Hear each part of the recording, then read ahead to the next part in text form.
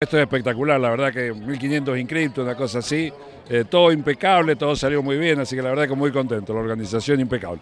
Bueno, eh, has acompañado siempre esta iniciativa, has estado siempre, no va a ser nuevo. Por supuesto que no, no va a cambiar nada, esto sigue igual, este fue el primer año de 21 kilómetros y el año que viene, seguimos con los 21 kilómetros, sin lugar a dudas. Así que esto va a seguir creciendo y queremos que siga creciendo así. Bueno, es importante porque también la gente respondió a la de 21 kilómetros y eso es bueno. No, totalmente, totalmente. Muchísima gente inscripta a 21 kilómetros, es un desafío importantísimo hacer 21 kilómetros. Inclusive mucha gente de la zona, muchos chicos jóvenes y no tan jóvenes que participaron, que está muy bueno porque esto la gente lo ve, se entrena y van participando.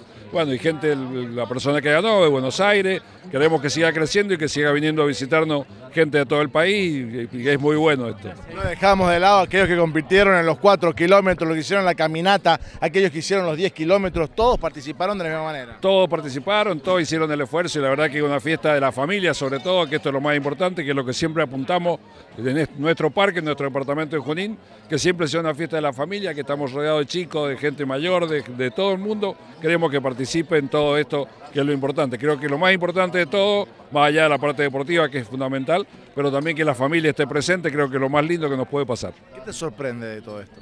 La participación de la gente, vemos la cantidad de gente que hay y la verdad que es muy lindo, no solamente la que corrió, sino la gente que viene a mirar, la gente que viene a acompañar, que estén acá, que está, hoy no hace calor, no es una gran noche, está bueno para correr, pero no para estar, y esto está lleno de gente participando, disfrutando de nuestro parque, disfrutando de la tranquilidad que tenemos en esto, que es lo más importante.